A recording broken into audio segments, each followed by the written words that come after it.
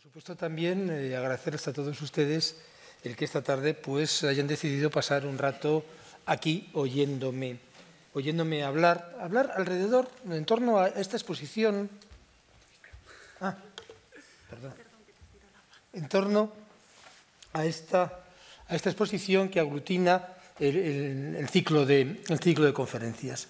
Una exposición que empieza en una sala en la que hay dos eh, autorretratos, dos autorretratos de Cristo. Uno de ellos, además, el que tienen ustedes a su derecha, el de Zurbarán, pues con sus tonos rojizos, con esos contornos un tanto borrosos y, difuminados, no quiere dar la impresión de que sea una obra pintada por el hombre, sino dar la sensación exacta de que es el rostro que eh, Cristo imprimió, eh, sin otra intervención que, que, que su sangre y, y, su dolor, en el paño que le tendía la, la, Verónica. Y una exposición que acaba en otra sala también está presidida por un Cristo, pero un Cristo muy diferente.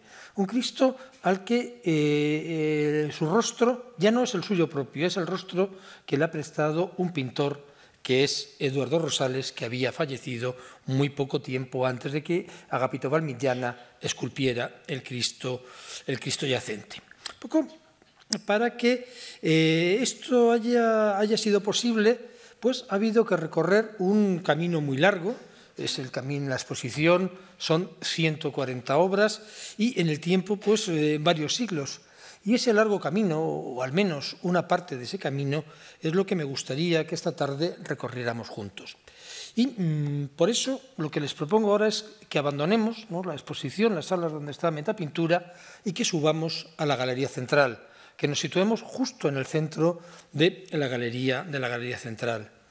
Desde ese lugar, si miramos a nuestra izquierda, lo que veremos es las meninas. Si miramos de frente, lo que veremos es la familia de eh, Carlos IV. Dos cuadros que están entre los mmm, iconos más importantes eh, que, tiene, que tiene el museo.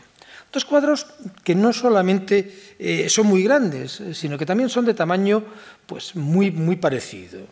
Eh, las meninas miden 3 metros 18 por 2,76 la familia de Carlos IV eh, mide 2,80 por 3,36. Son dos cuadros que son los retratos de otras dos familias eh, reales, pero dos cuadros que siempre se han, interpretado en realidad o se han sentido ante todo como dos autorretratos eh, geniales, ¿no? en los que tanto Velázquez eh, como Goya pues, han sabido situarse al, lado mismo de los, al lado mismo de los reyes. Son también dos cuadros estrechamente vinculados entre sí, porque es evidente que Goya pintó el suyo bajo la sugestión del cuadro de, Velázquez, un cuadro sobre el que ya había reflexionado antes, que lo había dibujado, que lo había grabado al agua fuerte, pues eh, unos años, eh, 12, 13 años antes de pintar la familia de Carlos IV. Son dos cuadros muy parecidos pero son al mismo tiempo dos cuadros tremendamente, tremendamente diferentes, tanto aunque por razones obvias no se ha podido trasladar eh, las meninas ¿no? a las salas de la, exposición, sí se ha puesto este montaje, eh, esta foto ¿no? de, del grafoscopio eh, que representa la, las, la, colocación ¿no? de, de las meninas en la galería principal del museo a finales del siglo del siglo XIX y enfrente se ha dedicado una vitrina al, al Quijote. Son, y las meninas, colocado de esta manera en el centro de la exposición, con esta singularidad que le da el, el montaje un tanto escenográfico, es, eh, se muestra como ese verdadero eje, ese eje, digamos, espiritual, ¿no? porque no, no, no está físicamente, alrededor del cual va a girar toda la, toda la exposición. En cambio, aunque hubiera sido posible trasladar el cuadro de Goya, eh, jamás, jamás se le habría podido otorgar un lugar tan importante dentro del contexto de eh, eh, metapintura. Detrás de las meninas, y bajo, ese, eh, bajo uno de los mejores retratos de grupo que se haya pintado jamás, pues si sabemos mirar, podemos encontrar eh, muchas cosas. Podemos encontrar una de las reflexiones más profundas que haya hecho nunca eh, pintor alguno sobre el origen y la nobleza del arte, sobre los problemas de la creación, sobre la condición del, artista, sobre el aprecio que merecen eh, el trabajo del pintor y la propia, la propia pintura. Sin embargo, detrás eh, de la familia uh, de Carlos IV, ese espléndido eh, cuadro ¿no? que Carlos IV le llamaba el retrato todos juntos, por mucho que lo miremos, lo único que podemos encontrar es exactamente eso, un magnífico retrato de todos juntos en el que no se sabe muy bien por qué eh, Goya se ha colado eh, de rondón y mucho menos se sabe, eh, podemos entender por qué se ha colocado en un lugar tan inverosímil si lo que está intentando, si lo que está haciendo es retratar al grupo de la familia del rey. Pero un cuadro, sin embargo, a pesar de que, como luego veremos, ¿no? Eh, Goya no entendió en absoluto nada de las meninas, no entendió eh, las, complejas, las complejidades, las complejas sutilezas eh, intelectuales de, su, de, de su modelo, pues también habría tenido, por otras razones radicalmente diferentes, un enorme interés dentro del contexto de la exposición. Pero bueno, vayamos por partes. Empecemos hablando de las meninas. Y, pocas monarquías como la española fueron tan celosas de su intimidad. El ocultamiento eh, se entendía como majestad. Eh, la etiqueta ponía al rey, considerado él en sí mismo una auténtica eh, ceremonia, la etiqueta le ponía al resguardo de las miradas indiscretas. Por esa razón, quizá eh, sorprenda, sorprenda tanto la existencia de un cuadro eh, como este, un cuadro en el que se fija para siempre un instante cualquiera de la vida cotidiana de la familia real en el palacio, una imagen, una instantánea, que sería singular en cualquier corte del siglo XVII, pero que en la corte española o en el contexto de la corte española eh, adquiere el carácter de una auténtica excepción. Lo que vemos está claro, es el pintor trabaja en una habitación de la, de la, del Alcázar. Doña Agustina Sarmiento le está ofreciendo un búcaro a la infanta para que apague eh, su sed. Isabel de Velasco está iniciando un, una reverencia, está iniciando el, el saludo prot protocolario. Eh, tras ellos, bueno, a su lado, están eh, Bárbola y Nicolasillo eh, Pertusato. Gracias. Nicolasillo Pertusato, que está jugando, dando patadas eh, a este pobre eh, perro. Tras ellos están conversando doña Marcela de Ulloa, un señor, eh, un guardadamas, cuyo nombre ignoramos, y detrás aparece don, José, don José Nieto en el umbral de una puerta descorriendo una, una cortina. Y todo ello en el cuadro de más empeño, en el cuadro de mayor tamaño que jamás pintó Velázquez. Entonces, mm, dada la, la banalidad del tema, y la calidad del cuadro, el tamaño del cuadro, pues lo que nos tenemos que preguntar inmediatamente es qué significa todo esto, qué significado tiene, tiene todo, todo esto. Porque una composición de tal tamaño, de tal calidad, eh, tan cuidada hasta en el menor de los hasta el menor de sus detalles, pues no puede ser en absoluto eh, gratuita. Durante algún tiempo, y así lo podemos ver ¿no? si, si ojeamos el, el primer catálogo, el de Eusebi, el primer catálogo del museo, de 1819, pues en ese primer momento se supuso que el cuadro representaba una jornada cualquiera de trabajo en el taller eh, de Velázquez cuando estaba haciendo el retrato de la infanta ante la atenta mirada de, de sus padres. Sin embargo, tal explicación, poco dejando al lado, a un lado eh, ese tamaño descomunal del lienzo en el que está eh, trabajando y, y su la desproporción que tendría con el pequeño, el minúsculo eh, tamaño de, la, infanta, pues eh, resulta eh, totalmente insatisfactoria, porque si está pintando a la, infanta, ¿por qué la infanta le vuelve la espalda al pintor, que está situado un paso detrás de ella? Pues entonces, claro, si no pinta a la infanta, ¿a quién retrata Velázquez? ¿A los reyes? Pues no, tampoco está retratando a los, a los reyes. El cuadro nos da la información suficiente para saber que la pareja real acaba de entrar en esta habitación donde no se encontraban unos segundos antes. Porque todos los gestos de los personajes nos indican esto, nos indican esa aparición súbita, esa aparición repentina de los, reyes. Se han dado cuenta, pues el pintor, que ha suspendido su trabajo y, mira al frente, eh, también mm, la infanta, que ha, eh, deja de prestar atención a doña Agustina y mm, rechaza el, búcaro, María Bárbola, que deja de prestar atención a los juegos de, de Nicolasillo Pertusato y, el perro, Isabel de Velasco, que está iniciando la, reverencia, o el guardadamas, que deja de eh, escuchar la cháchara ¿no? de doña Marcela de, Ulloa. En cambio, ni Agustina Sarmiento, ni Marcela de Ulloa, ni Nicolasillo Pertusato se han dado cuenta de esa, eh, de esa entrada. Pero también el cuadro nos dice que la visita no se va a prolongar el, tiempo suficiente como para que los reyes entren al taller para mm, eh, iniciar una sesión de pose ante, ante eh, Velázquez que pudiera estar haciendo su, su retrato. Ellos no van a ser los modelos y eso lo sabemos por este personaje que está aquí detrás, don José Nieto, que es el aposentador de la reina, que su trabajo, su misión, consistía en abrir las puertas por las que iban a atravesar los, los reyes, iba a atravesar la reina. Por tanto, sabemos que acaban de entrar, pero sabemos también que van a salir rápidamente por esta, por esta puerta. Y partir del momento que los reyes abandonen la estancia, pues cada uno de estos personajes podrá continuar eh, su tarea. Pero ahora la pregunta sería esa, ¿cuál es la tarea de Velázquez? ¿En qué está trabajando Velázquez? Porque sabemos lo que no está pintando Velázquez, pero en absoluto tenemos idea de qué está representando, de qué, de qué va a representar en ese enorme lienzo en el que, tiene, que tiene delante. Y además, siempre hemos sentido, siempre todo el mundo ha sentido la, la, sensación ¿no? de que esa enorme superficie enigmática del lienzo vuelto de, vuelto de espaldas, pues encierra la clave del enigma que siempre ha envuelto a este, a este cuadro.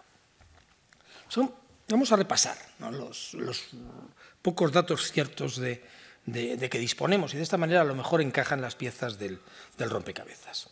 En este momento, en 1656, Velázquez pretende ser caballero de Santiago. En el cuadro, el rey está entrando en la habitación en que está trabajando un pintor. Una visita que no puede menos de eh, evocar aquella otra visita célebre que hizo eh, Alejandro al taller de Apeles. Velázquez evidentemente conocía esa historia que estaba narrada por Plinio, que estaba recogida en todos los tratados de, la literatura, de la literatura artística, y decidió utilizarla en, provecho propio en un momento en el que más que nunca necesitaba demostrar eh, la nobleza de la pintura un fin, un, destino al que eh, van a estar sabiamente dirigidos todos y cada uno de los elementos que componen este cuadro. A pesar de que desde el 480, ¿no? desde, desde, el siglo, desde el siglo XV, hacía más de 200 años, antes de que Velázquez pintara, pintara este cuadro, ya los pintores venían reivindicando eh, que eh, como sucedía en la poesía, la parte, la parte eh, esencial de la pintura radicaba en la idea, en la invención, en encontrar el, asunto que se, iba, que se iba a narrar y que, por, tanto, eh, la pintura como la poesía era ante todo una actividad mental. Y pensaban que la, su realización material, la realización física, el hecho de pintar materialmente Materialmente el cuadro era un aspecto secundario, aunque eso sí, evidentemente muy importante, del trabajo del pintor. Sin embargo, aunque la literatura artística, los pintores, los artistas, estaban convencidos de ellos, pues la sociedad española del siglo XVII no. La sociedad española del siglo XVII seguía considerando mayoritariamente a la pintura como una actividad mm, eminentemente manual, una actividad que si no producía tanta fatiga como la, como la, escultura, sí que provocaba por lo menos suciedad. Por ello, consideraban que la pintura era una actividad propia eh, de artesanos y se entendía como su práctica como un signo de descalificación, de descalificación social. Pues bien, Velázquez lo va a negar todo. Va a negar que la pintura ensucie y para demostrarlo se viste con sus eh, mejores galas. Y puesto a negar, va a negar también que sea una actividad eh, manual, o lo que es lo mismo, que el hecho material ¿no? de meter los colores sobre el lienzo sea la actividad básica del, pintar. Porque Velázquez no está pintando. Velázquez sujeta eh, la paleta y el tiento con la mano izquierda, con la mano derecha está sujetando el pincel, pero ese pincel está suspendido, ese pincel está inmóvil, ni está mojando los colores en la paleta, ni los está extendiendo por la superficie del lienzo, un lienzo en el que por otra parte tampoco ni siquiera tiene puesta la eh, mirada. Velázquez no pinta. Velázquez tampoco está mirando a un modelo que sabemos que no existe en la habitación, está mirando a los reyes, pero los reyes no son tampoco el objeto de, el objeto de su pintura. Velázquez piensa, Velázquez concibe en su imaginación esa idea que luego plasmará eh, materialmente sobre el, lienzo. Veinte años antes de pintar las meninas, Velázquez había retratado a eh, Juan Martínez eh, Montañés modelando en barro el busto, la cabeza de Felipe IV que se iba a mandar a Florencia como modelo para que Pietro Tacca hiciera la escultura ecuestre que ahora se encuentra en la plaza de, en la plaza de Oriente. Y hizo el retrato de la misma, de la misma manera. No está eh, con ropa de trabajo, está con un traje de, digamos, de corte, un traje, un, traje, un traje de calle. Tampoco está trabajando en la arcilla, tiene la espátula eh, eh, suspendida está mirando al modelo, está calculando cuál va a ser el, siguiente eh, paso que va a dar esa mano que aún inmóvil pues, sostiene en el aire la, espátula. Pero aún hay otra serie de elementos en el cuadro que, aunque muy sutiles, pues están reforzando esta posición de Velázquez frente a la, a la pintura. En la habitación en la que transcurre la, la anécdota, el, episodio, hay muchos cuadros, podemos contar eh, hasta 12. De ocho de ellos pues, están muy escorzados en, esta, en esta pared, lo único que podemos ver son eh, los marcos. Otros dos, uno aquí y otro aquí, uno no lo podemos ver nada, la tapa de Marcela, el, fuerte contraluz también de la, de la puerta, el otro, cuarto, el otro cuadro lo oculta el cuerpo, del, el cuerpo del pintor. Tan solo son identificables estos dos y apenas. ¿no? pero bueno, se puede saber perfectamente qué es lo que estaba ahí eh, pintado. En ellos, en uno de ellos se representa la historia de Apolo y Pan. En el otro se representa la historia de Palas y Aracne. dos cuadros que están hablando del origen divino de las artes, de la música o de las artes de, la tapicería y por tanto de las artes del eh, diseño. Pero además sabemos eh, que estos cuadros, como la mayor parte de los que cuelgan en esta estancia, y lo sabemos porque, documentalmente, porque está así reflejado en el inventario del Alcázar de Madrid de 1666, eh, no son los originales, son dos copias que había hecho eh, Juan Bautista Martínez del Mazo de unos originales de Jordaens y de Rubens que colgaban en la torre de la parada. Con lo cual, Velázquez está haciendo patente esa dualidad, esa diferencia eh, que existe entre inventar un cuadro y pintar materialmente ese cuadro.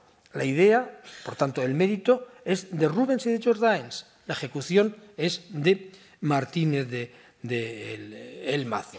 Y establece entre, entre, esa idea y esa grosera ejecución pues una relación semejante a la que pudiera existir entre el poeta que compone versos y el amanuense que los eh, escribe eh, físicamente en el papel cuando al dictado ¿no? de, del poeta.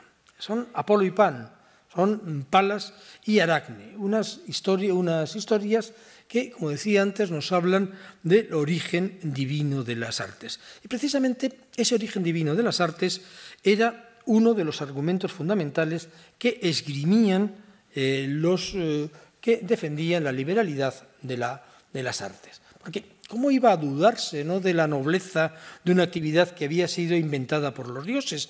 Y mucho más aún, ¿cómo iba a dudarse de la nobleza de una actividad que practicó el único y verdadero Dios cuando modeló a Adán a partir de un trozo de barro o cuando hizo el retrato de eh, María para presentárselo a los ángeles como su reina, o cuando eh, imprimió su propio rostro en el paño de la, de la Verónica.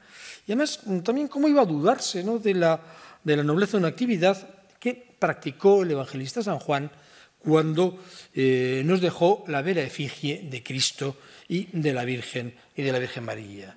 Y bajando un grado ¿no? en, la, en la escala, cómo no iba a ser noble una actividad que honraron con su aprecio e incluso con su práctica los príncipes y los reyes de la tierra, y entre otros, pues Felipe IV, que sabemos que pintaba, que sabemos que había tenido a Maíno como eh, profesor eh, de dibujo. ¿Cómo no va a ser noble un arte que practicaba, que veneraba este rey que aunque eh, no aparece físicamente entre los retratados en, las meninas, pues eh, su presencia se siente de una manera eh, prácticamente eh, o verdaderamente eh, tangible. La infanta Margarita ocupa el centro de la composición, por supuesto. Su cabellera rubia, el traje claro eh, que viste, concentran sobre su figura toda la luz que está entrando por esta ventana abierta a la, a la derecha. Ella parece la verdadera protagonista de la pintura y eso hizo pensar alguna vez que ella era el modelo que estaba retratando, retratando Velázquez. Sin embargo, esto no es así. Una simple mirada pues, no, no, nos hace ver que el auténtico protagonista del cuadro no está allí, no, no se le ve eh, físicamente, sino que está delante de él.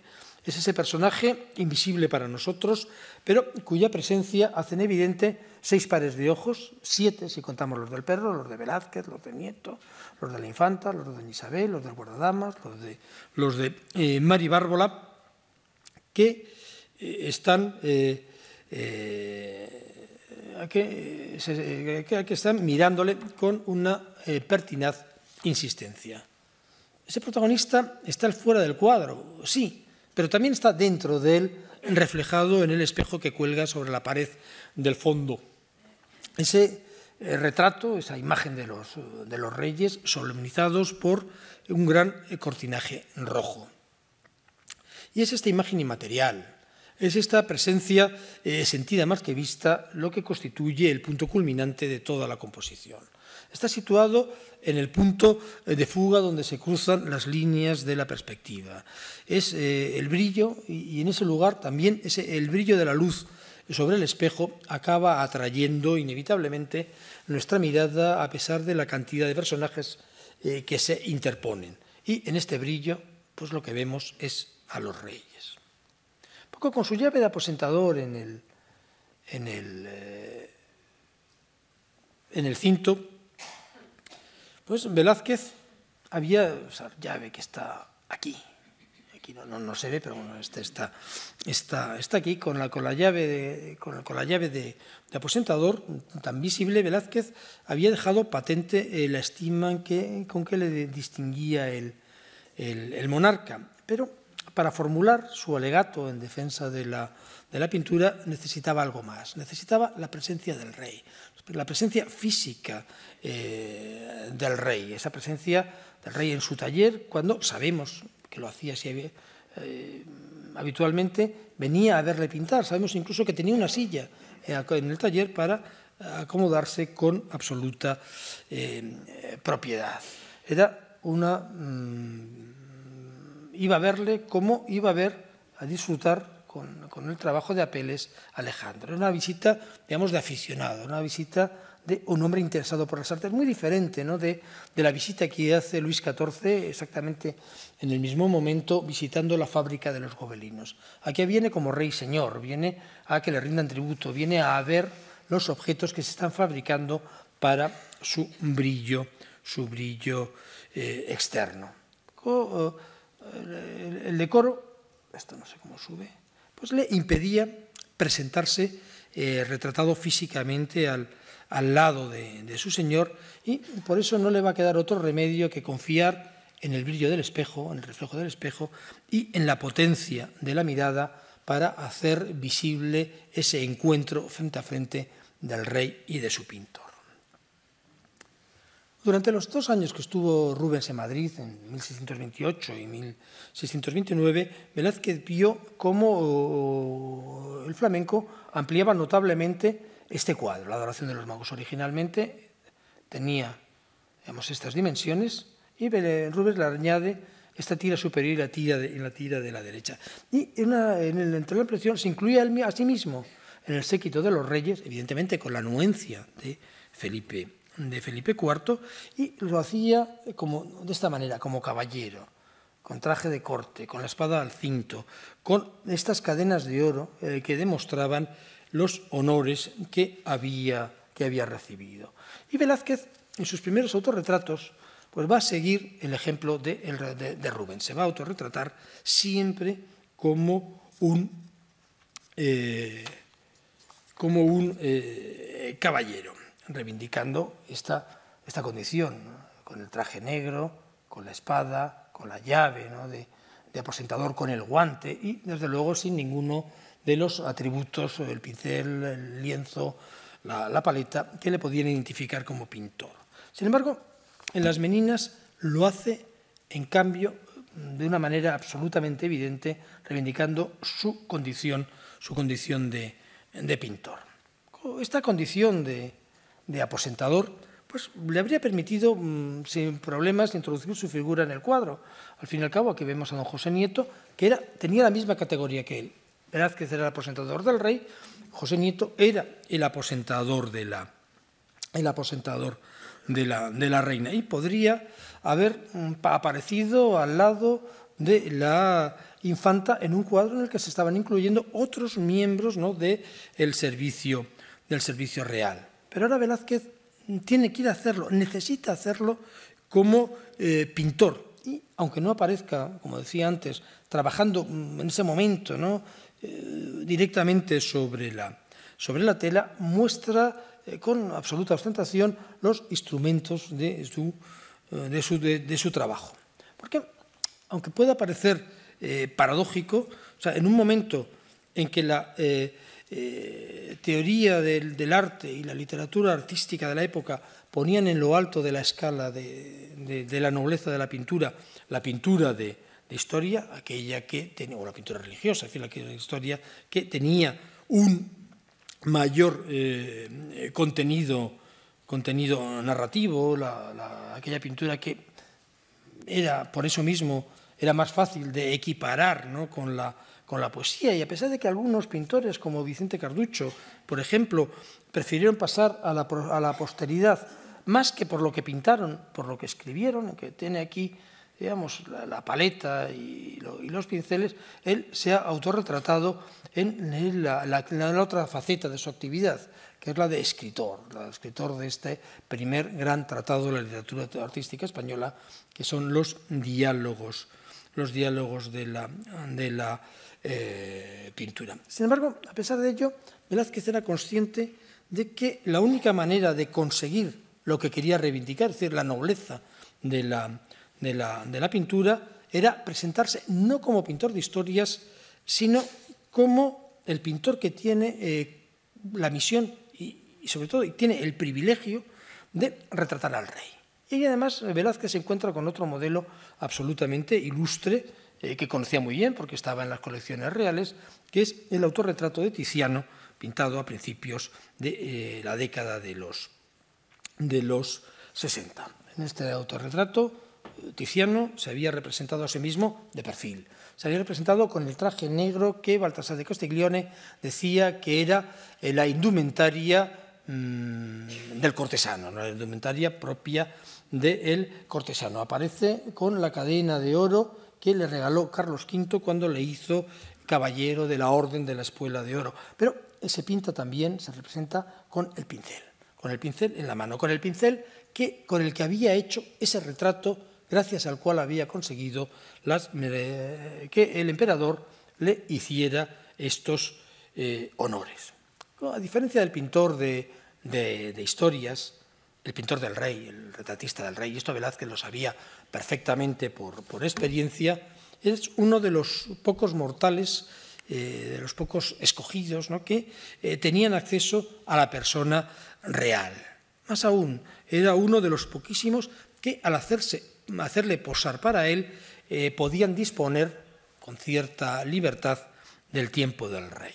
Por eso, cuando Pacheco, su, suegro, ¿no? hace una pequeña biografía de, Velázquez en el libro del arte de la, de la pintura y cuando está hablando del el retrato ecuestre que le pinta en 1626, más que maravillarse de la calidad de la pintura, de la, de la belleza ¿no? de, aquel retrato, lo que verdaderamente le sorprende, lo que verdaderamente le parece maravilloso, y cito, es aquello que excede de todo encarecimiento, es que cuando le retrató a caballo, le tuviese tres horas de una vez sentado, suspendido tanto brillo y tanta, y tanta grandeza. Pero, como decía hace un, momento, aunque para Velázquez pues resultara absolutamente crucial hacerlo, el traducir ¿no? a imágenes esa posibilidad de acceso a la persona real, era un asunto muy peliagudo, un asunto que aquí resuelve magistralmente con esa presencia material, ¿no? de, inmaterial, perdón, del rey en el espejo y lo, lo mismo que había hecho con el retrato de Martínez Montañés, que lo había resuelto de una manera parecida, lo había situado al lado de esa otra presencia también casi inmaterial, que es ese retrato abocetado, ese puro bosquejo de la cabeza del rey. No es un verdadero retrato, no es un retrato terminado del rey, quizá eso hubiera sido excesivo ¿no? para el momento, simplemente es estas cuatro líneas que nos dicen que eso es la cabeza del rey, pero sin que realmente, sin que realmente lo sea. Y además, incluso en el retrato de Martínez de Montañés, subraya esa proximidad todavía de una manera más intensa al hacerle posar su mano izquierda sobre la cabeza de, la cabeza de Felipe IV. Un gesto, este de tocar al rey, tocar el rostro del rey, un gesto absolutamente impensable para eh, la corte, para nadie que no fuera el barbero real. Y mm, un cargo que, y no es casualidad, que tenía el mismo salario, digamos, la misma condición, la misma, el mismo nivel que el pintor real.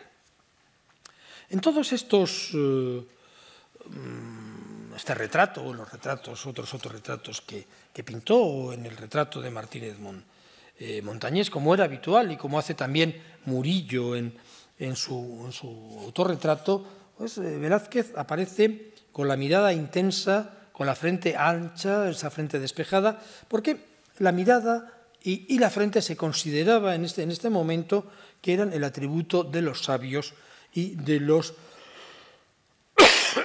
y de los intelectuales. Vamos a detenernos un poquito en este otro cuadro, este otro retrato de Murillo, que también está presente en la, exposición. El autorretrato de Murillo eh, nos, aparte de que estuviera ajustando su imagen a ese mm, tipo físico ideal ¿no? del, del, eh, del, pintor, el, cuadro, como digo, el autorretrato de Murillo resulta especialmente interesante también para ver hasta qué punto los pintores españoles del siglo XVII estaban reflexionando sobre eh, su arte. Las Meninas era un cuadro destinado claramente por Velázquez a exponer su idea de la pintura ante la única eh, persona eh, que, una vez que el Consejo de Órdenes había desestimado su, petición porque no cumplía con los, requisitos, a exponer, digamos, Velázquez, a exponer su petición ante la única persona que podía saltarse y poner el dictamen de la comisión, podía imponer, como al final hizo, imponer eh, su voluntad de conceder el hábito de caballero, que era, evidentemente, eh, eh, Felipe IV. Sin embargo, el autorretrato de Murillo tenía un destino muy diferente. Aquí lo pone, ¿no? que Bartolomé eh, Murillo eh, pintándose a sí mismo para sus hijos. Pero más que a sus hijos biológicos, con toda probabilidad, este retrato estaba destinado a sus hijos espirituales, a sus discípulos, a los alumnos de la Academia de Pintura que él había fundado en, en Sevilla. Y por eso él aprovecha este autorretrato para exponer una auténtica teoría eh, de la pintura tal y como se entendía en este momento y eh, su idea ¿no? acerca de las infinitas eh, posibilidades imitativas que tenía el arte de la, de la pintura. Aparece con los instrumentos del dibujo, el compás, el lápiz, el papel, a su derecha, con los instrumentos del color, el pincel, la paleta y los colores a su izquierda y entre ambos está su mano, esa docta mano, esa docta mano del pintor, como decía eh, Carducho cuando se refería a, la, mano, a la mano del pintor. Esa mano que se sale del marco, esa, mano que avanza no hacia el espacio del,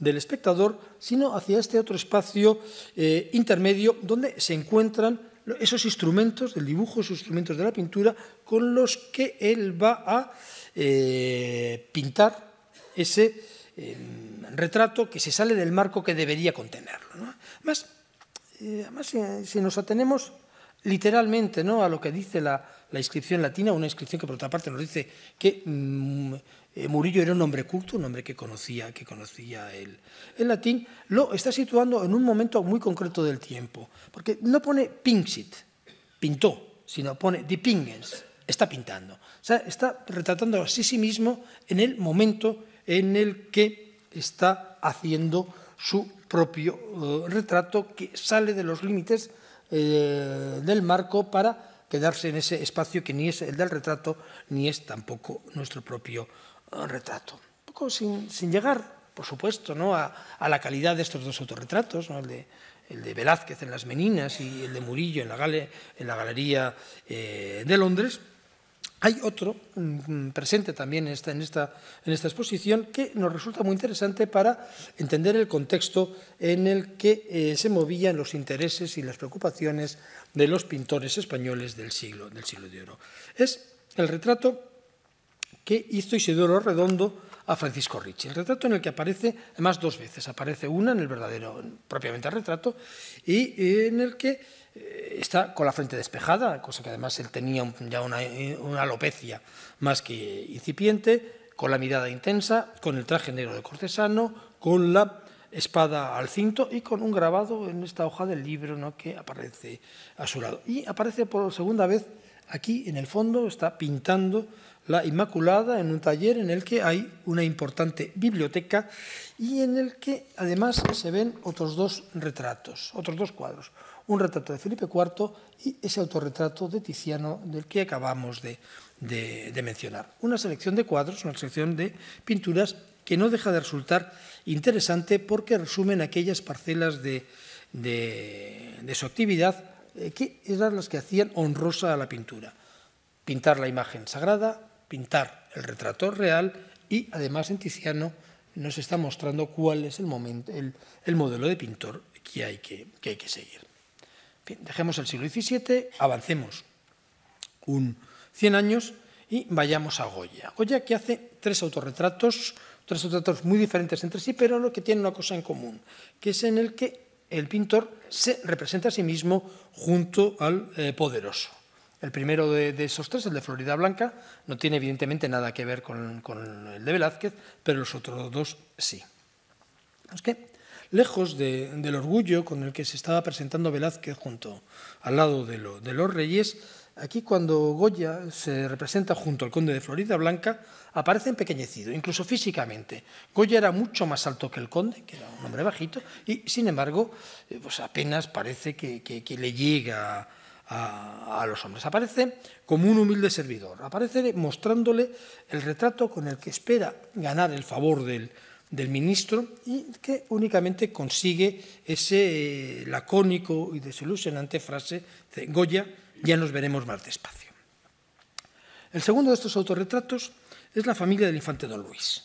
Este autorretrato, este, este cuadro, es el que más eh, se acerca más al espíritu de las meninas, un cuadro en el que hay un equilibrio parecido ¿no? entre el retrato y, la narración, en el que está emulando esos dos aspectos eh, anecdóticos de las meninas que tanto había destacado Palomino. Es un retrato colectivo, un retrato en el que eh, cuyos personajes se mueven dentro de un ambiente em, relajado, de un ambiente muy poco constreñido por las reglas de la, de la etiqueta mucho, mucho más, digamos, mucho más campechano todo que en el cuadro de, de Velázquez. Todos los personajes han sido sorprendidos en la fugacidad de un instante momentáneo, aparecen dedicados a una actividad eh, cotidiana, pero la luz y el color eh, y los trajes nos están indicando claramente quiénes son las distintas, eh, los protagonistas, quiénes son los importantes, cuáles son las jerarquías sociales. En el centro, el infante hace solitarios. La infanta se deja que arreglar el cabello eh, por eh, su peluquero. Alrededor están sus eh, hijos y alrededor, más todavía en la, periferia, pues se encuentran algunos de los miembros del servicio más próximos de la familia. Esa, esa familia entendida en sentido extenso, el núcleo familiar padres, hijos, pero también los servidores inmediatos. Lo mismo que sucede en el cuadro de las meninas, un cuadro que durante mucho tiempo se conoció precisamente con ese nombre, con el nombre de la familia. Y entre estos personajes también aparece Goya. Goya, que es el único de los servidores que está sentado, mientras que todos los demás aparecen respetuosamente de pie. Está sentado, pero aunque esté sentado en una posición completamente inverosímil eh, para eh, trabajar en un lienzo en el que va aún eh, no ha pintado nada un lienzo en el que todavía está absolutamente en blanco. En el tercero de estos retratos, Goya, de pie ante su caballete, está pintando la, la familia de Felipe IV en un, en un, lienzo en el que se busca explícitamente la comparación eh, con las meninas. Un cuadro sobre el que eh, Goya, como decía antes, había tenido ocasión de reflexionar largo y tendido y que años atrás pues, había dibujado y había grabado. Y esta composición, esta comparación entre las dos pinturas, entre las meninas de Velázquez y la familia de, Felipe IV, de Carlos IV de, de, Goya, ha sido algo que, para bien o para mal, ha sido una eh, constante en toda la historiografía posterior de eh, Goya, de, la, de, la, de la pintura. Una cuestión en la que ahora pues, no podemos entrar en toda su complejidad y únicamente pues, unos, eh, unos, unos, unos algunos de sus aspectos. Creo que con la única excepción de Ceferino de Araujo, que no le gustaba nada este cuadro, le parecía uno de los, pintores, de los peores que había pintado, pintado Goya, es uno de sus cuadros mejores, es una de sus obras más emblemáticas, no solamente de Goya, sino del Museo del Prado y de toda la pintura española en general. No, pero si eh, hay un consenso general en esto, que es uno de los mejores eh, cuadros, de, cuadros de, Goya, también hay un cierto consenso eh, general a la hora de establecer negativamente lo que le está separando de su modelo. algo que podía resumirse muy bien en unas palabras de Janice Tomlinson, unas palabras que son un poco largas, las voy a leer porque es lo que mejor lo resume.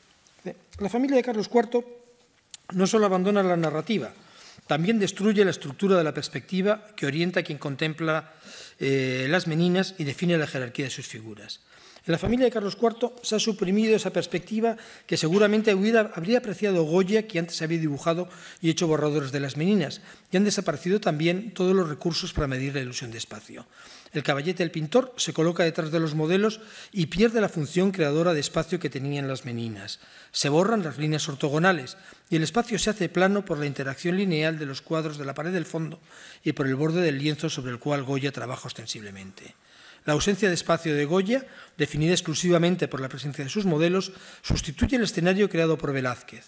En este espacio, los modelos ya no están en libertad de actuar, sino que, como se dice en el inventario de 1814, aparecen en acción de retratarse. No aspiran a más existencia que la de presentarse ante nosotros, y del mismo modo que ellos no pueden actuar, eh, tampoco eh, nosotros, los espectadores, podemos entrar. La naturaleza antiperspectiva del retrato de Goya queda ilustrada en su colocación en el Prado como eh, pintura culminante de una larga galería que lleva a la rotonda que comparte con otros retratos suyos. De todos los cuadros del museo, este de Goya es el más adecuado para destruir la ilusión de perspectiva de la galería, esas caras de mirada alerta, tal vez burlándose de la mirada cansada del intrépido visitante del museo. Además, hay otras cuestiones eh, que diferencian eh, el lienzo de Goya del lienzo de Velázquez. La primera de todas es que, aunque no haya pruebas eh, documentales, sí que hay un consenso mm, eh, generalizado de que las meninas fueron un cuadro pintado sin encargo, mientras que no hay duda alguna de que el cuadro de Goya, el retrato de Goya, responde al encargo de un gran retrato de aparato hecho por Carlos IV en la primavera del año 1800. La segunda es que las meninas respondían únicamente a los intereses personales de Velázquez para defender ante el rey los argumentos a favor de la nobleza de la pintura dentro de ese proceso ¿no? para conseguir el hábito de, caballero, ese proceso en el que se encontraba inmerso. Por el contrario, la, la, familia de Carlos IV pues, respondía única y exclusivamente a los intereses del rey, a su interés por conseguir un extraordinario retrato de aparato en un momento eh, que era especialmente convulso para la institución eh, monárquica, se pinta en 1800-1801, y ah, ahora volveremos sobre ello. Y también la tercera ¿no? es que, eh, salvo Justi, ¿no? el catálogo de 1819, que mm, decían, que pensaban que Velázquez estaba retratando a, la infanta, eh, Margarita. De hecho, el primer, este catálogo de, de, de 1819 aparece Velázquez retratando a la infanta doña Margarita María de Austria, hija de Felipe IV, servida de sus menines, acompañada por dos enanos y otros eh, eh, personajes. Que salvo Eusebi y, y Justi, pues nadie más ha suscrito una hipótesis tampoco probable dada la situación de la infanta con respecto al, al, pintor y se han decantado por otras opciones, que estaba pintando a los reyes, que estaba pintando el propio lienzo de las meninas o incluso que no estaba pintando aún nada, que el lienzo estaba eh, en blanco y subrayando así, como hace Carducho en el dibujo, que, en el grabado que cierra ¿no? el, su, su, tratado de pintura, eh, pues, ah, subrayando esas posibilidades infinitas eh, de la pintura, las que no hay más otro límite para eh, su capacidad de representar que la imaginación y la habilidad del propio, propio pintor. Por el contrario, desde la primera mención que se hace al cuadro de Goya en el inventario del Palacio de 1814, ha habido una unanimidad absoluta en pensar que representa, como aparece en ese, en ese inventario, toda la familia de Carlos IV en acción de retratarse y con el retrato del autor. Desde este momento nadie ha dudado jamás que Goya estuviera pintando otra cosa que el retrato de los reyes y por eso esa sensación de, de absoluta perplejidad que produce el cuadro ante tan ilógica colocación del pintor. Él está situado no delante, sino detrás de eh, sus eh, eh, modelos. ¿no? Es, eh, es, absolutamente imposible que mm, pensar ¿no? que estuviera viendo la escena reflejada en un hipotético espejo gigantesco que estuviera colocado en la pared frontera, espejo que sabemos, porque conocemos perfectamente cómo estaba amueblado el palacio, que no existía. Por eso, a mí siempre me ha hecho mucha gracia la explicación ¿no? que había propuesto Javier de Salas en la monografía escrita en 1940 y poco, ¿no? de, sobre la familia de, de, Felipe IV, una, una, explicación con un evidente dejo de, eh, de ironía, en la que decía que todos parecen mirar a alguien que está fuera del cuadro, alguien que en este momento no podía ser otra persona que Godoy, que o habría entrado a ver la sesión de pose de la familia, con lo cual se estaría aumentando el paralelismo con las, con las meninas, o sería quien estaría posando para un retrato lo que sería una forma muy sutil de completar la familia, habida cuenta de sus relaciones de amante con María Luisa y de que realmente Godoy, que en ese momento estaba en la cumbre de su poder como general, ministro, valido, pariente y amante de la reina, para subrayar que era miembro de la familia real porque estaba casado con la condesa de Chinchón, que era sobrina de, de Carlos IV.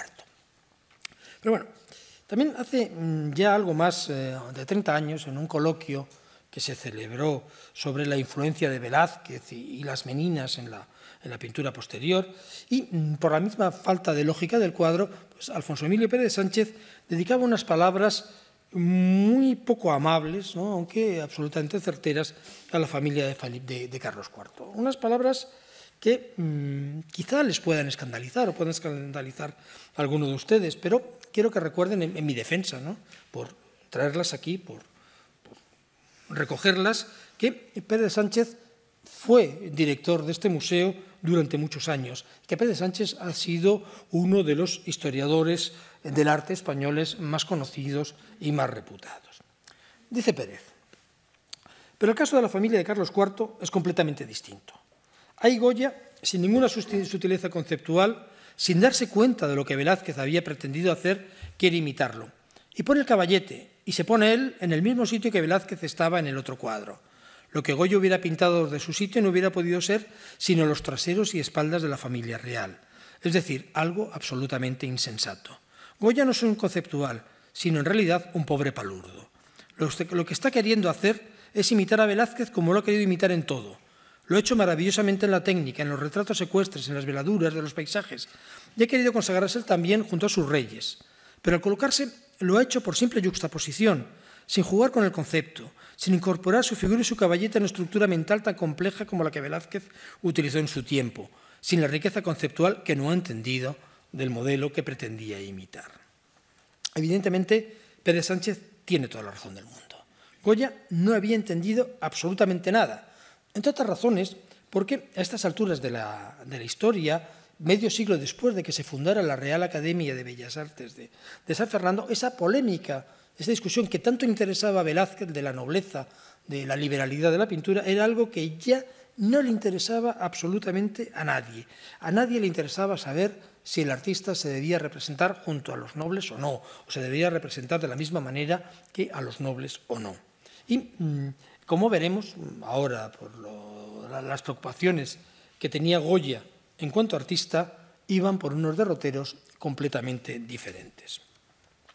Pero siendo esto cierto, pues la pregunta que tenemos que hacernos no es tanto la de por qué Goya colocó su caballete en un lugar eh, tan absurdo, sino la de por qué se le permitió introducirse de esta manera, de esta manera o de cualquier otra, ¿no? en un retrato oficial encargado por el rey y destinado a colgar en uno de los salones de aparato del Palacio Real, probablemente en la misma antecámara del rey. Y mmm, la respuesta a esta pregunta es la que vendría a justificar la um, imaginaria inclusión del cuadro dentro del contexto de esta, de esta exposición. Veamos. Eh, por mucha estima que, tuvieran los reyes a su pintura, lo cierto es que la presencia de Goya no aportaba absolutamente nada a la imagen de la monarquía que Carlos IV quería transmitir a través de este gran retrato, de este enorme retrato en el que aparecía con eh, rodeado de toda, de toda su familia. Es un retrato en el que, lo que en el momento de la extinción de, los, de sus primos Borbones, él lo que está poniendo de manifiesto es la continuidad una dinastía, de la dinastía de los Borbones eh, españoles. Y en un momento en el que además tampoco nadie sabía eh, en qué dirección se iban a mover los mm, acontecimientos. Tampoco podemos pensar que, como sucede en el, cuadro de, las meninas, eh, interesara, se pudiera pensar en esta visita de, de, Alejandro, en este caso la visita de Alejandro y su familia, al, al, taller de Apeles, porque en este momento la protección de las artes ya no era, un, no era una cuestión del gusto personal del, del rey, como sucedía en el caso de las meninas, sino que ahora la protección de las artes era una cuestión de Estado, como podemos ver en este retrato ¿no? de eh, Florida Blanca con el pintor, con el arquitecto, con el libro de Palomino ¿no? eh, tirado por, por, el suelo y con estos planos del canal, de, del canal imperial de, imperial de, Aragón. Y sí, vemos que Felipe IV tenía la llave del taller de Velázquez, tenía allí una silla para verle a pintar a, pintar a diario, en este momento, a principios de el siglo, del siglo XIX, pues la presencia del pintor trabajando no, es, no, era algo que solamente no interesara especialmente a los monarcas que amaban, y amaban y mucho la pintura, y Carlos IV ha sido uno de los grandes coleccionistas de, la, de, la, monarquía española, y a él se le deben algunas de las obras más importantes, ¿no? como por ejemplo el Cardenal de Rafael, por decir solo una, que, cuelgan en los muros del museo, pero a pesar de que amaban a la, pintura, podían considerar como molesta la actividad del, eh, del pintor. De hecho, el 22 de abril de 1800, la reina María Luisa escribía a Godoy desde, desde Aranjuez, dándole instrucciones para que, si Goya puede hacer allá, en Madrid, la obra nuestra bien hecha y parecida, más vale allá la haga, pues de este modo nos libramos eh, de molestias. Pero si no sale bien, que, que venga aquí a Aranjuez, aunque nos mortifiquemos. Vamos, mm, desde el punto de vista del rey, que necesariamente tuvo que dar el visto bueno ¿no? a, la, composición, la presencia de, Goya no aportaba absolutamente nada al retrato. Pero sin embargo sí que lo aportaba la referencia inmediata, inevitable a las meninas. Y aquí sí que confluyen los intereses del rey y los intereses del pintor. Y que interesaba esta referencia a las meninas porque los inicios del, siglo XIX, entre el año 1000 las finales del 18 y los primeros del 19 mm, coinciden con el momento en el que se estaba empezando a construir el edificio de la historia del arte español. Una construcción que además se estaba haciendo en unos círculos muy próximos al, no solamente a Goya, sino también a Carlos IV, al propio monarca, porque uno de sus fundadores, que es el fundador de Historia del Arte, que es Jovellanos, fue ministro de Gracia y Justicia entre 1787 y 1798.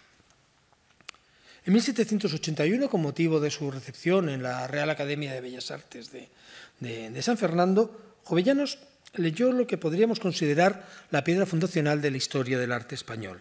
Es un discurso que se titulaba El elogio de las bellas artes en España, un trabajo al que seguirían Después, sus reflexiones y conjeturas sobre el boceto original del cuadro llamado La familia, cuadro que ese boceto formaba parte de la propia colección de Jovellanos. El mismo año, de, el 1800, el mismo año ¿no? en que eh, se encarga la familia de Carlos IV, se publicó otro de los libros fundamentales para nuestra historia del arte, que es el Diccionario Histórico de los más ilustres profesores de las bellas artes en España, de Juan Agustín Ceán Bermúdez. Y con estos dos escritos, eh, se situó a Velázquez y su obra más importante, las, Meninas, como los cimientos sobre los cuales se iba a construir, se iba a levantar la historia del arte español. O lo que era lo mismo, eh, se, mm, ve, se ponen las Meninas eh, las bases, los cimientos de la propia identidad nacional.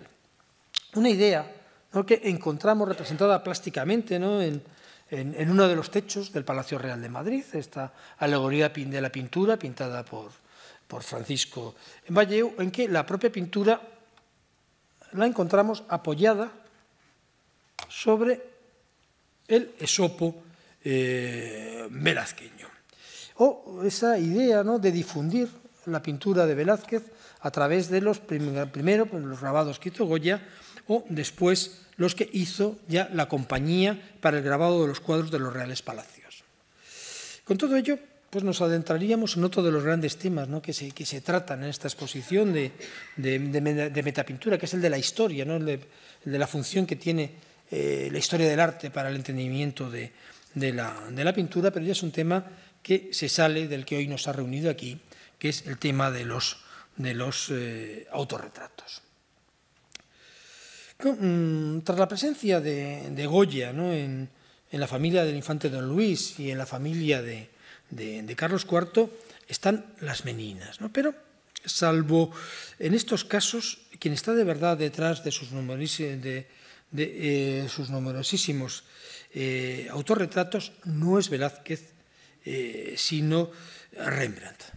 A Goya ya no le interesa en absoluto la imagen de ese artista que quiere ser caballero a toda costa, que está dedicando su tiempo, sus afanes a conseguir un hábito de, caballero de, caballero de, eh, Santiago.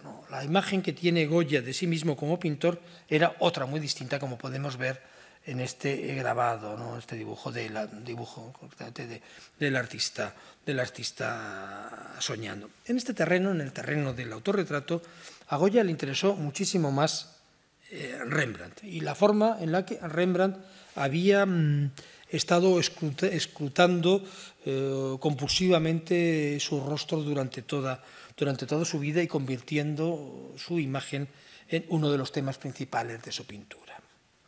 De Goya eh, se conservan 34 eh, autorretratos, desde el primero que hace en 1773 hasta el último que hace en París, cuando ya tenía, ya era octogenario. Y a lo largo de estos 34 autorretratos, pues le vamos a ver cómo va cambiando su rostro, cómo va cambiando su manera de vestir, vamos a ver cómo se presenta como un miembro de la de esa burguesía ilustrada a la que pertenecieron sus amigos, le vemos envejecer, le vemos también eh, casi al borde de la muerte en este otro eh, impresionante, eh, casi más que autorretrato, casi exvoto, en el que aparece en brazos del doctor Arrieta y en el que la composición es el de una piedad, una piedad de la Virgen sosteniendo a Jesús muerto, es el doctor sosteniéndole a él casi agonizando, una piedad laica que nos daría pie para adentrarnos en otro de los temas importantes de, la, de, la, de, la, de metapintura, que era el del fin, eh, el término ¿no? de, de, la, de la imagen religiosa y cómo la imagen religiosa bascula hacia otro tipo de, de contenidos.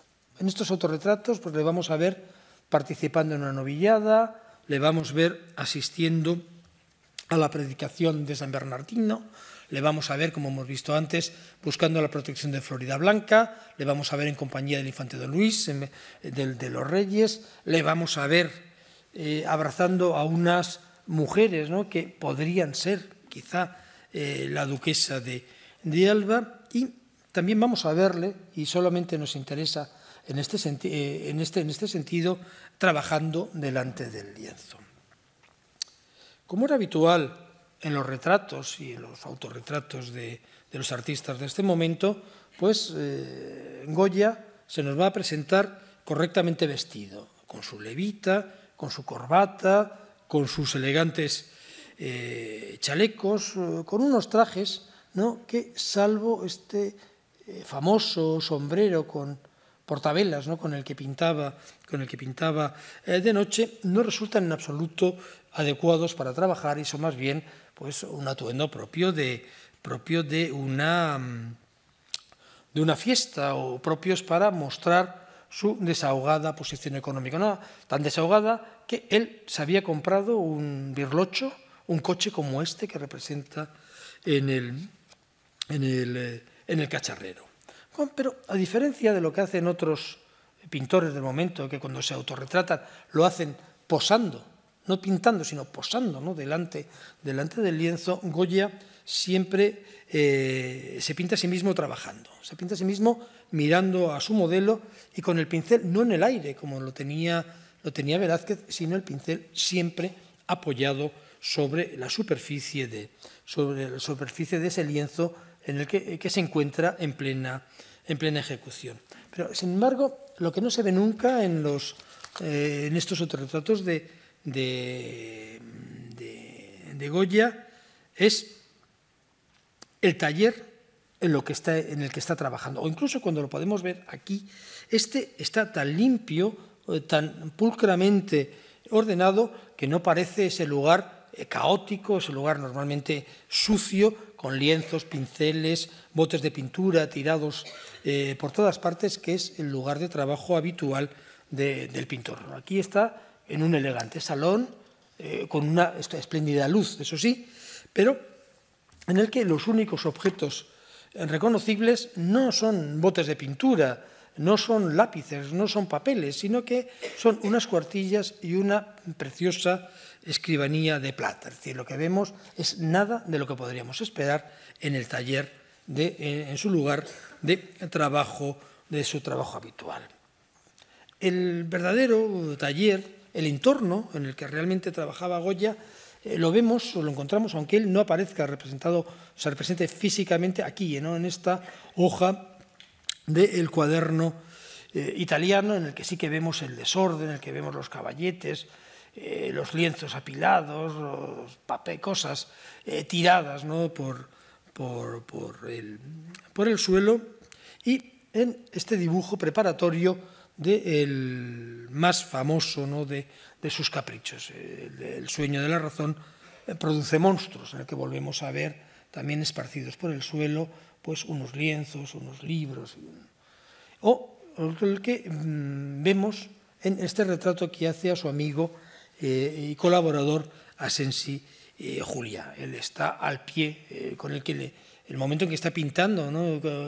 En compañía suya, San Antonio de la Florida, y sí que vemos los andamios por los que trepaban, y vemos los eh, colores, y vemos los pinceles eh, tirados por, por el suelo y otra serie de trastos, aunque, eso sí, digamos, ni la bata elegante, ni el calzado eh, que, que lleva a Sensi resulten lo más adecuado para el trabajo que está, que está realizando.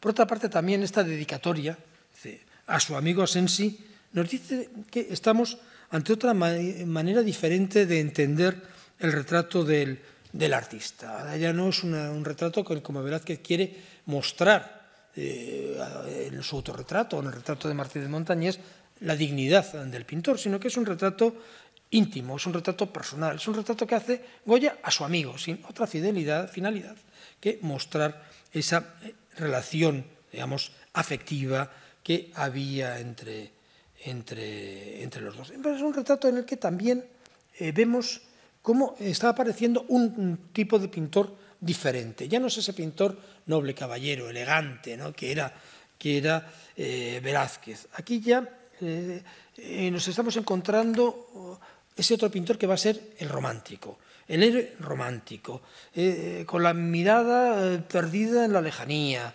con la melena alborotada, con el gesto napoleónico, ¿no? El gran héroe ¿no? del, de, del, momento, con la mano metida dentro de, de, del chaleco. Es ese artista furioso ¿no? que, como eh, Pigmalión, pues, se encuentra poseído por la pasión de, crear. Ese artista que está muy lejos de esa calma reflexiva de, Martínez Montañés ese artista maldito, ¿no? como, como Torrillano, que sufre los, eh, en prisión los excesos eh, eh, a que le había llevado su mmm, desmedido orgullo de artista que había sido el de romper una imagen sagrada porque no le habían pagado el precio que él consideraba eh, justo, o ese artista eh, que como él mismo pues, se ve asaltado por los monstruos, por las pesadillas que brotan de su inagotable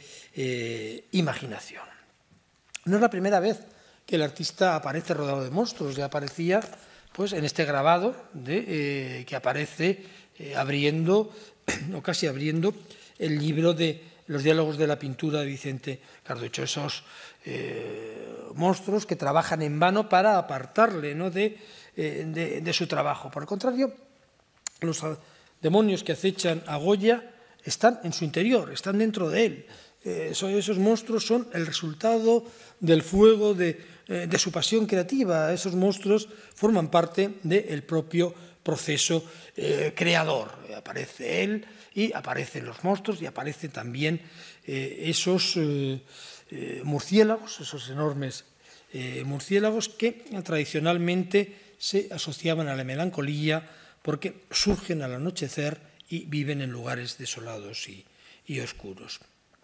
En cualquier caso, esta imagen del, artista perdido en, en el sueño de, la razón, en el sueño de su razón, se encuentra dentro de la órbita del de, eh, pensamiento eh, del momento, está la, la, órbita de las pensadillas de Young o de los placeres de la imaginación de, Addison, dos libros que habían sido traducidos al castellano por un amigo de, Goya, que era el canónigo eh, Munarriz. Y en el, libro de Addison, libro que Goya conocía perfectamente, se podía leer que cuando un accidente daña al cerebro o la mente es afectada por sueños o por una enfermedad, La imaginación se desborda con ideas descabelladas y lúgubres y se siente aterrorizada por un millar de monstruos espantosos del mismo terror. Algo que tras la eh, penosa enfermedad que ya había padecido, Goya años antes, pues podía corroborar con su propia experiencia eh, personal. Una experiencia que corrobora este dibujo. El pintor, dormido sobre su, mesa, eh, se ve presa de una tremenda agitación. Está con el pelo revuelto, hunde la cabeza entre las manos, sus dedos enlazados, casi más que entrelazados, engarfiados. ¿no? Producen la sensación de que, más que durmiendo, está siendo preso del dolor o de la angustia. En este otro, inmediatamente posterior, en el idioma universal, eh, es el que eh, en principio no es el dibujo preparatorio para el grabado que en un primer momento se había pensado que sirviera de portada a los, a los caprichos. Eh, su rostro ya no figura en medio de, su pesadilla, en medio de, su sueño, ha aumentado considerablemente el número y el tamaño de los monstruos, pero, sin embargo resulta mucho menos desasosegante. El pintor ahora está profundamente dormido. Eh, está con la cabeza reposando sobre sus brazos eh, cruzados. Y aunque vemos que su sueño es una eh, terrible pesadilla, externamente pues no le vemos que está sufriendo ningún tipo de agitación. su pelo sigue perfectamente peinado, la raya se ve impoluta, ha desaparecido esa tremenda tensión ¿no? que nos eh, transmitían eh, sus manos. Y por otra parte también la inscripción que lleva la, hoja, el que lleva eh, el papel, pues nos transmite un mensaje muy optimista. El artista soñando. Su intento solo es desterrar vulgaridades perjudiciales y nocivas y perpetuar con esta obra de caprichos el testimonio sólido de la verdad. Por eso no resulta extraño eh, en absoluto que este dibujo, que, este, que esté grabado, pues presente unas profundas semejanzas con el boceto que hizo para la eh, alegoría de la filosofía, en el que la luz, digamos, de la, de la filosofía está disipando los errores y las supersticiones que también en este caso pues, aparecen representados como murciélagos, aparecen representados como aves, como aves nocturnas. Sin embargo, y ya con eso terminamos, este mensaje ¿no? de, que, de, que, el sueño de la razón eh, produce monstruos es un mensaje ambiguo, un mensaje que podía entenderse en dos sentidos radicalmente diferentes.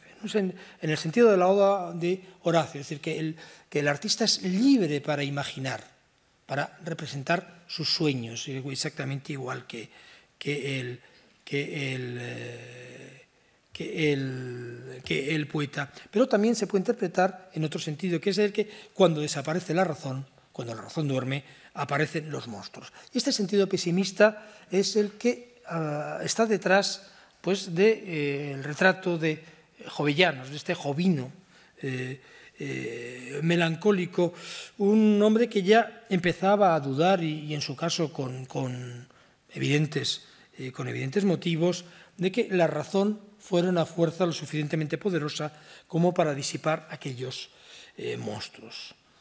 Y este miedo, este temor, también se podían tomar ante él dos eh, posturas distintas. ¿no? Y es en este momento en el que eh, el camino de Goya se separa del camino de su amigo Jovellanos. Jovellanos, pesimista y desacorazonado, se niega a publicar sus obras, mientras que por el contrario, eh, Goya, que ya estaba exiliado en, en, Francia, pues no duda nunca de la fuerza de la razón y se representa a sí mismo en este último autorretrato, este autorretrato, digamos, eh, espiritual, ¿no?